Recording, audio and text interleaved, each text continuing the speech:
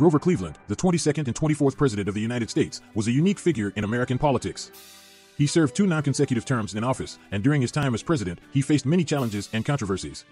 Cleveland was known for his honesty and integrity, and he was the first Democratic president to be elected since the Civil War. He believed in limited government and fiscal responsibility, and he worked to balance the budget and reduce government corruption. However, Cleveland's presidency was not without controversy. In 1894, he sent federal troops to break up the Pullman strike, a labor protest that had paralyzed the country's transportation system. This decision was controversial, and it resulted in violence and the loss of many lives. Cleveland's second term in office was marked by a financial crisis known as the Panic of 1893. He worked to stabilize the economy, but his efforts were not always successful.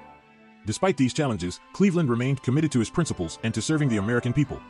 He was known for his strong leadership and his dedication to the nation's well-being. Grover Cleveland may not be as well known as some other American presidents, but his impact on our country cannot be underestimated.